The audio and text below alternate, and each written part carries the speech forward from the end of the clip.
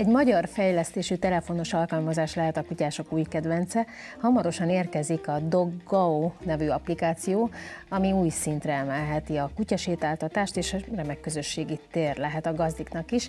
Vendégünk a stúdióban a fejlesztő pár Koleszár Brigitta és Német László, valamint a kutyusuk Molly, aki gőzerővel liheg. Szia Molly! Gondolom, hogy ha Molly nem lett volna, akkor mindez az applikáció se biztos, hogy lett volna, vagy hát elképzelhető, hogy valakinek azért kipattant volna a fejéből, de egyáltalán nektek hogy pattant ki ez a fejetekből? Ez a nem mindennapi ötlet, lehet ezt mondani. Hát ö, igazából ugye már kutyát sétáltatunk folyamatosan, és ugye észrevettük, hogy sokkal jobb új kutyát sétáltatni, ha közben csatlakoznak hozzánk, például ismeretlenek is, és együtt tudunk sétálni velük, mert a kutyának is sokkal jobb élmény, meg nekünk is.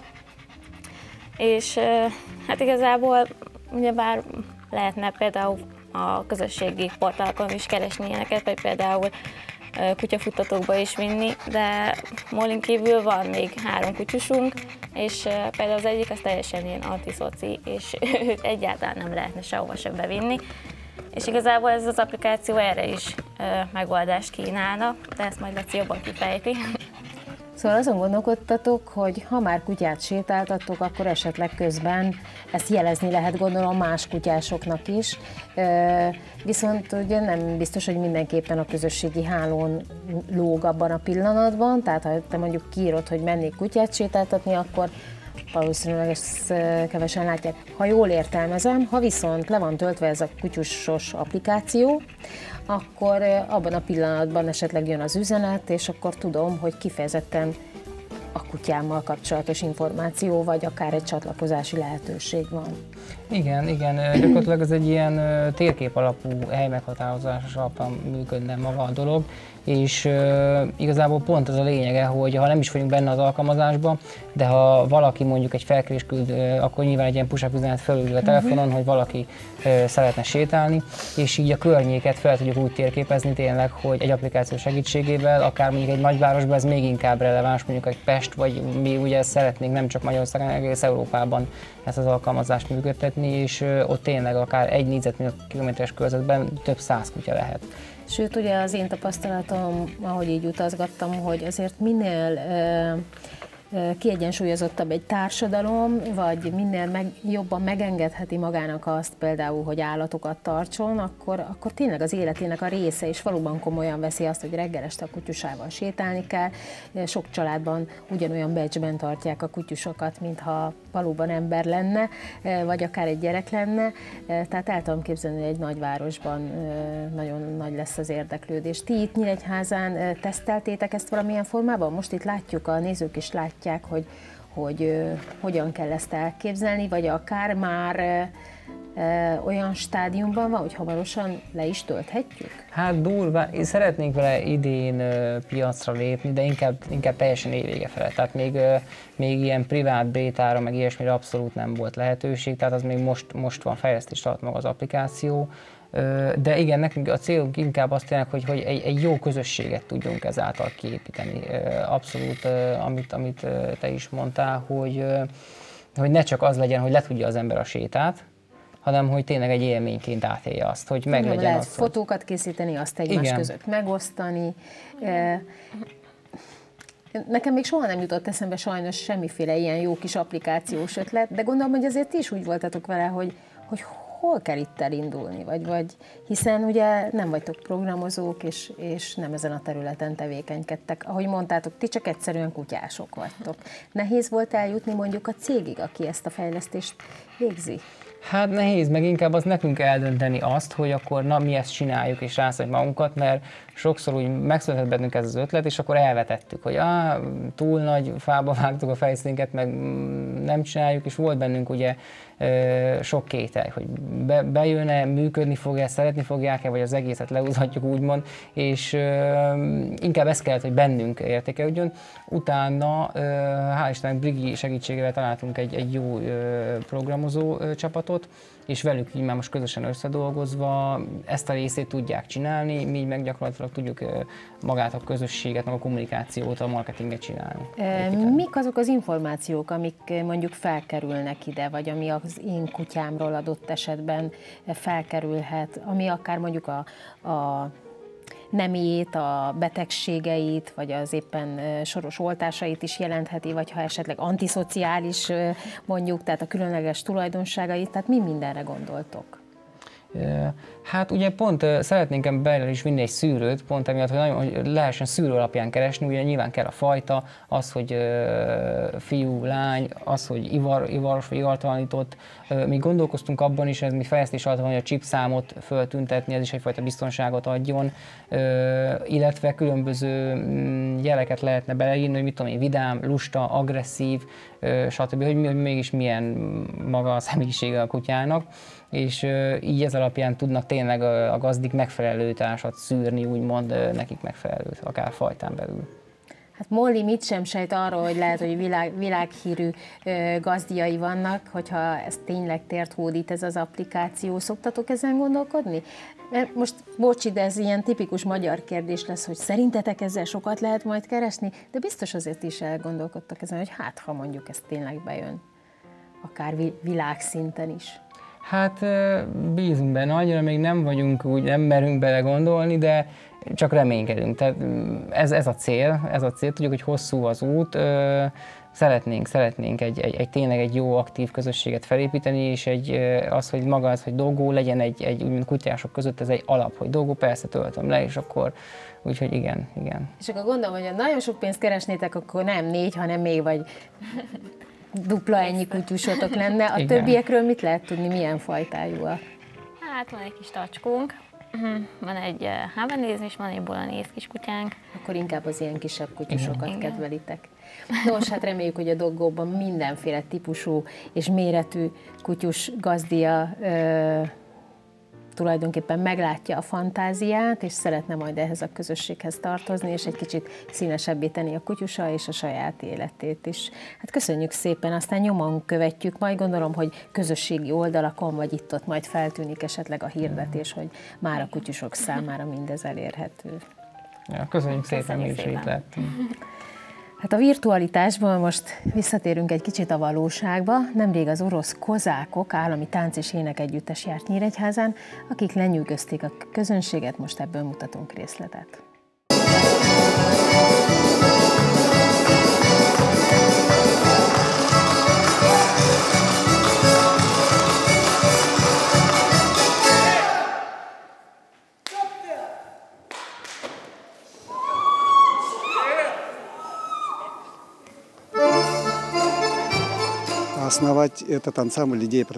Az együttes megalapításának ötlete az Orosz Föderáció népművészétől Leonid Petrovics Milovanovtól származik. Ő korábban a híres kubani kórusban dolgozott Krasnodárban, ahol balettmester volt. Lipec megyéből származik, és ezért döntött úgy, hogy Lipecben alapítja meg ezt a híres együttest. A csoport 50 tagot számlál, sokan vagyunk, énekesek, vokál és a nagy csoport.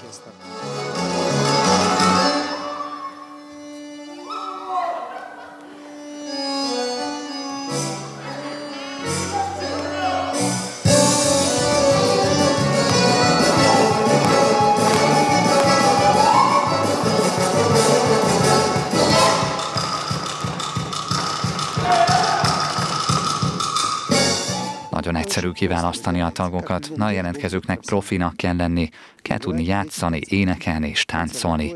Konzervatórium szükséges hozzá, táncművészeti szakiskola, ennyi az egész. Hány országban jártak már? Könnyebb azt felsorolni, hogy mely országokban nem jártunk még. Európában szinte minden országban voltunk. Amerikában, Kanadában, Angliában, Spanyolországban többször is. Innen Romániába megyünk, majd Szlovákiába és Spanyolországba. Magyarországon először járunk, csodálatos ország, nagyszerű a közönség. Ez a harmadik koncertünk itt, a művészeink le vannak nyűgözve, ilyen ritmusos tapsal még soha nem találkoztunk.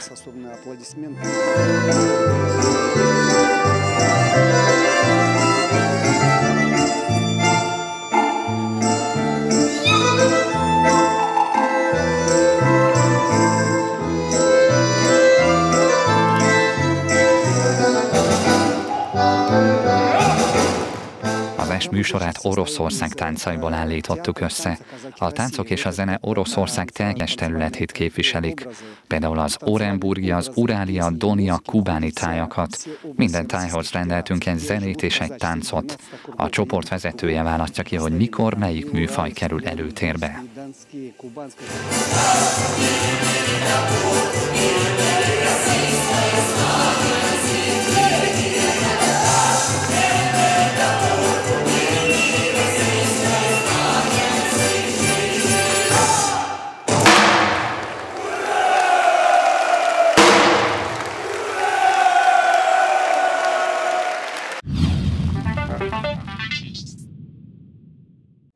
Oroszországból pedig vissza Nyíregyházára, két nagy politikai vezetőnek, Kárai Andrásnak és Kárai Miklósnak az életét ismerhetik meg a látogatók egy nemrég nyílt kiállításon, mi pedig most áttáncolunk jelképesen a Nyírvíz palotába. Vendégünk a Kárai Gyűjtemény megbízott vezetője, Dohanics László. Szia, Laci! Szervusz, Szóval a címe ugye régi dolgok, újabb idők. Nyilván valamelyest a ma emberét szólítja meg, és invitálja egy ilyen érdekes kirándulásra a múltba. Hát mi látható ezen a kiállításon? Igen, tulajdonképpen, hogy tavaly voltunk, csak is előzménye legyen, tavaly voltunk ugye 25 évesek, 25 éves a Kálai gyűjtemény, akkor a Kálai Miklós emlékkiállítással tisztelektünk a adományozó előtt, és ebben az évben is szerettünk volna a kálai hagyományot, hagyományt folytatva egy olyan kiállítást létrehozni, ami a kálai családhoz fűződik. Ez a régi dolgok újabb idő című kiállításunk. A két kálai személyiség, Kálai András és az ő fia Kálai Miklós, a későbbi miniszterelnök, akik mindketten főispányai voltak Szabolcs vármegyének, és tulajdonképpen erre, ennek a két személynek az életét szeretnénk bemutatni, illetve mutatjuk be ebbe a kiállításba. Hmm, nyilvánvalóan ti ismeritek ezt a történelmi korszakot, de mi a tapasztalatotok Nyíregyháza városlakói, vagy akár a megyéből érkező múzeumlátogatók számára? Mennyire mond újat ez a kiállítás, vagy mennyire ismernek rá mondjuk egy-egy történelmi érdekességre? Tulajdonképpen ez a kiállítás azért is hasznos, mert egy a történelem tanításban mind a két személyiség, de főleg Kálai Miklós ugye szerepet kapott, mind a ketten főispánok voltak, mindkettőjük nevéhez fűződik a megyeháza építése, hisz az eredeti főépületet Kálai András, míg a B épületet Kálai Miklós a fia építette. Ugyanakkor ez a kiállítás, amelyet mindenféleképpen meg kell említenem, hogy a az anyagösszállításban nagy segítséget kaptunk a könyvtártól, illetve a levéltártól. Ezt tulajdonképpen mind a fiataloknak, középiskolásoknak, mind pedig az idősebb korosztálynak is szerintem egy remek kiállítási anyagot. És meddig be. látható? Ez június 22-ig látogatható ez a kiállítás. Akkor ez azt jelenti, hogy addig ott is lesztek, ugye, a Nyírvízpalotába? Így van, a projekt az folytatódik, a új Kállai háznak a felújítása, illetve az első lépcső az már megtörtént. Most a második lépcsőben a a hátsó úgymond szociális épületnek a felújítása, átépítése kezdődik meg, és tulajdonképpen ezzel fog kiteljesedni az új kálai helyszín, amely mellett még ott van egy gyönyörű szép zöldövezet, amelyet szintén szeretnék hasznosítani, szabadtéri programok.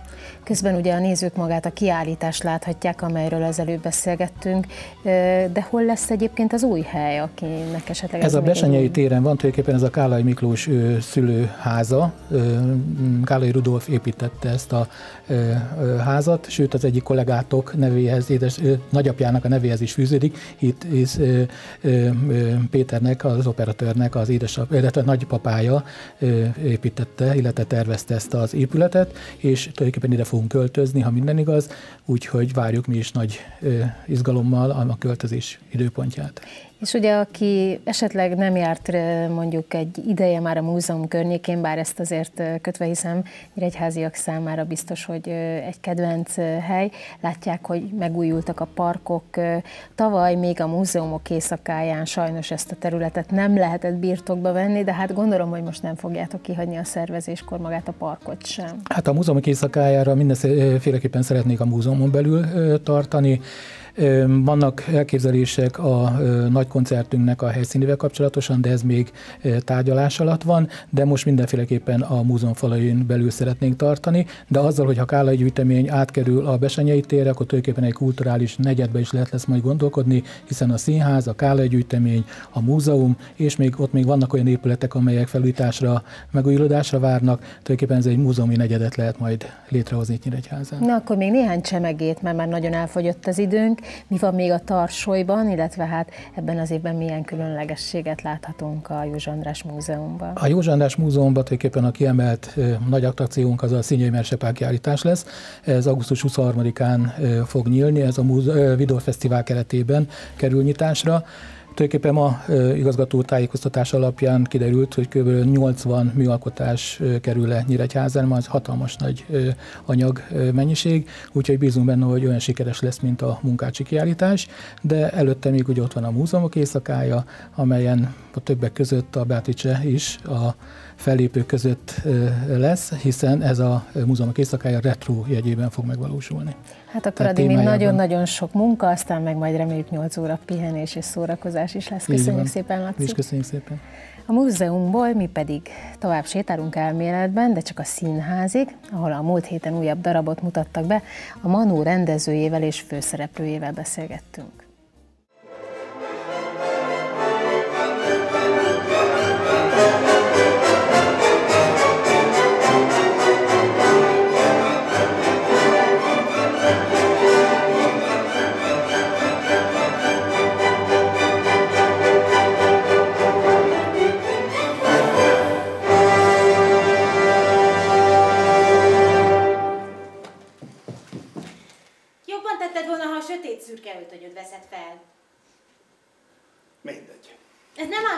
Számít?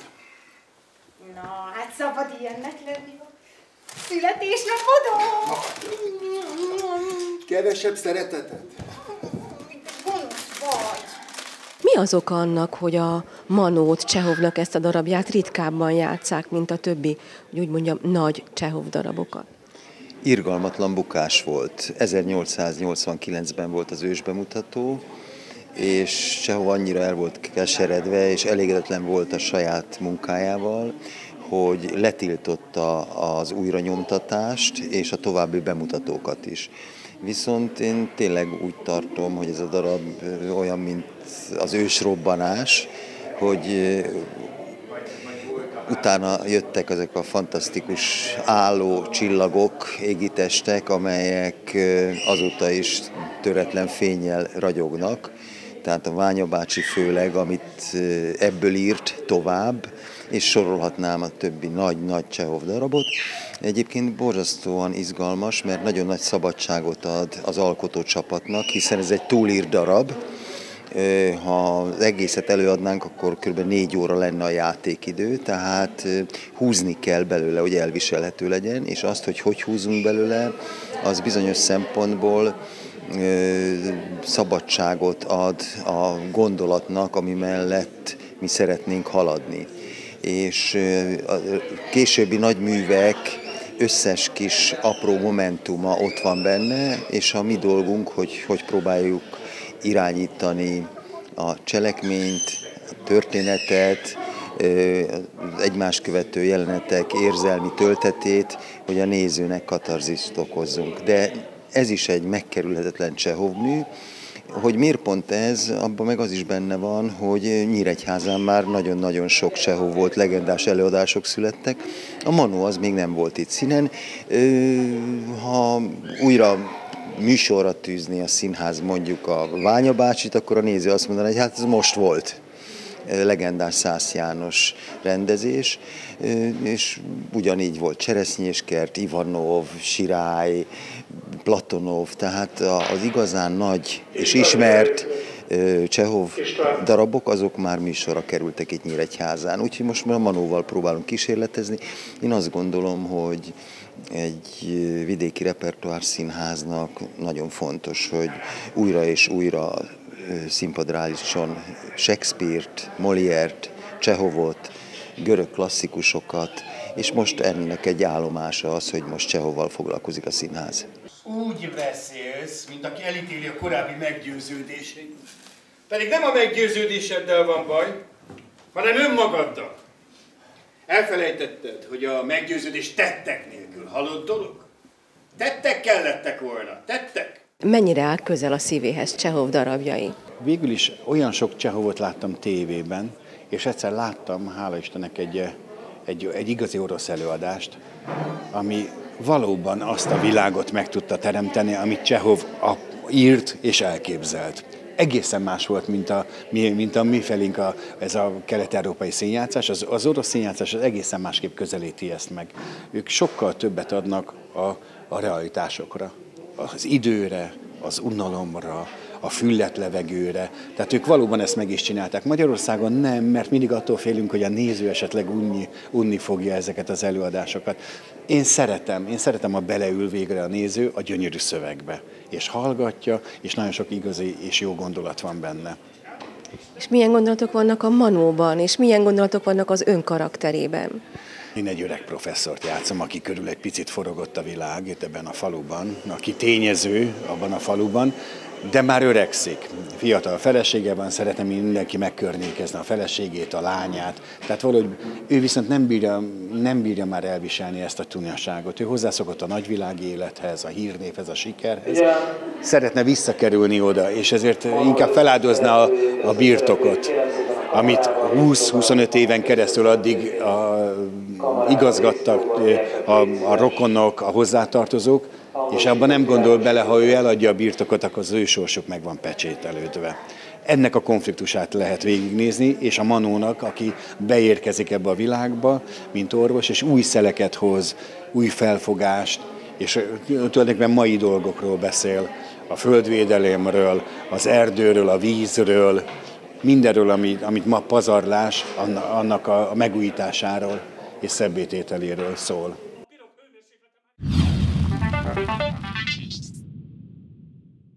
Színházból pedig ismét a Weekend stúdiójában, viszont velem szemben a színház igazgatója Kirjek Robert. Szia Robi, jó estét! Szia, jó estét! Ugye a nézők most itt a Manóról láttak egy összefoglalót, mm, te viszont tudod, hogy milyen volt a fogadtatás a darabnak a színházban? Így van, túl vagyunk a premiéren. Azt kell mondjam, hogy a, a színházrajongók közül azok, akik igazán a, a, a művészeti irányokat kedvelik, azoknak egy igazi csemege volt ez a, ez a darab. Csehovnak a műveit azért minden színháznak illik pár évente műsorra tűzni, és a Móri Zsigmond Színház szinte a, a színe javát már műsorra tűzte az ő darabjainak, és Tasnádi Csaba pedig tulajdonképpen mint ötletet dobta be a Manót, elmondása szerint neki 20 éve ez az álma, hogy ezt a darabot megrendezhesse, és eh, én lehetőséget adtam erre, és nagyon boldog volt, hogy, hogy ezt az álmát megvalósíthatta, és mondhatom, hogy bele is adott mindent, és a végeredmény is olyan lett, ami ennek ő elképzelte. És természetesen mi is elégedettek vagyunk vele. A Magyar Fesztivál Szövetség nemrégiben Debrecenben tartotta találkozóját, és ott a Vidor Fesztivált mutattad be tulajdonképpen magának a, a szövetségnek. Nem is tudom, hogy kérdezzem az, hogy milyen volt a fogadtatás, hiszen nyilván már magáról a fesztiválról, ugye ennyi év távlatából talán nem újdonságként, hanem mint egy szakmai összefoglaló vagy zanzásítása volt az elmúlt éveknek, de milyen volt maga ez, a, ez az esemény? Tulajdonképpen a, a régióból hat fesztivál kapott lehetőséget a bemutatkozásra. Természetesen a Vidor Fesztivál azért kiemeltnek számít a megyében is, és egy 15 percet kaptam arra, hogy a legfontosabb tudnivalókat ismertessem a, a hallgatósággal, és hát szerintem nem volt olyan a teremben, aki ne hallott volna még a fesztiválról. Tulajdonképpen a, a finanszírozás része, ami érdekelte őket, mik a főbb események, mi az, ami, ami esetleg még fejleszthető a fesztiválon, és utána mm, nagyon jó leső érzés volt, hogy hárman vagy négyen is megállítottak, és szerettek volna a fesztivállal valamilyen szintű együttműködést kötni. Többek között például a, a Panyolai Fesztivállal is keressük az együttműködés lehetőségét. Hát ugye most már a tavasz megállíthatatlanul közeledik, és azon gondolkodtam, hogy, hogy maga a jó idő mondjuk mennyire változtatja meg a színházba járási szokásokat. Nyilván a bérlettulajdonosok ugye egész évre várják a kulturális csemegéket, de esetleg vannak-e, akik nagyobb kedvel mennek mondjuk egy, egy klassz meleg nyári estén színházba, vagy már a rózsakert, mint új színtér is megjelenik, és, és sokan már abban gondolkodnak, hogy egy pléddel felszerelkezve valami klassz darabot megnézzenek. Hát azt kell mondjam, hogy május végéig azért még lesz néhány bérletszünetes előadásunk, például a, a Balfácánt vacsorára, vagy a holnap bemutatásra kerülő Bob Herceg, és alig-alig vannak erre jegyek, pedig május végén van mindkét előadás. Tehát azt kell mondjam, hogy a színház rajongók még aktívak, úgy inkább pontosítok, a kőszínház rajongók még aktívak, de már a Rózsakert szabadtéri színpad első néhány előadásaira is nagyon szépen fogynak a jegyek. Ugye a Delila lesz az első, ami saját produkció, ez fog bekerülni a következő évad bérletes előadásai közül az első helyre, majd a menapauza, ami mondhatom, hogy egy óriási közönségkedvenc most Budapesten, de hát egy Bernardi Judit, Szulák Andrea főszereplésével bemutatott darabnál ezt nem kell mondjam. És egy új sorozat első állomása tulajdonképpen a Kaposvári Csiki Gergely Színháznak a Tanulmánya nőkről című darabja, amit tudni kell erről, hogy a, a Vidor nyár programjának ez lesz a bemutatkozása. Ahogy már korábban is mondtam, nem nagyon volt lehetőség, vagy sőt egyáltalán nem volt lehetőség zenés produkcióknak eddig a, a fesztiválon. Ennek technikai okai is voltak, sokszor egy, egyáltalán nem volt hely például egy zenekarnak, ezért nem tudtuk megcsinálni ezeket az előadásokat. A szabadtéri színpadon viszont minden adott ahhoz, hogy zenés vígjátékokat is láthasson a közönség, ezért most Klassz, ők is... zenekari árok. Így van, minden tökéletes eh, arra, hogy zenés előadásokat játszon a közönség, tehát a zenés vígjátékok is most nyártól megmérettetnek, ugyanúgy zsűri lesz, zsűri elnök lesz, eh, ugyanúgy ők is díjakat nyerhetnek, tehát bővül a palettája a Vidor Fesztiválnak is, és a szabadtéri programoknak is. Hát köszönjük szépen, akkor én úgy gondolom, hogy ez egy jó üzenet, aki ott szeretne lenni ezeken a csúcs előadásokon, akkor ez keresse a jegyirodát, mert különben sajnos ugye lemarad, lemarad az előadásokról. Úgyhogy várunk szeretettel mindenkit. Köszönjük szépen. Köszönöm én is. Kedves nézők, mint hallhatták a mai adásban, számos érdekes program várja önöket, ha pedig a kulturális kikapcsolódás helyett inkább mondjuk a kerti munkát választanák, akkor jövő héten mindenképpen tartsanak velünk, ugyanis egy kertépítő ad majd tippeket a tavaszra. Várjuk önöket akkor is, valamennyiüknek kívánunk nagyon szép és boldog húsvéti ünnepeket. Viszontlátásra!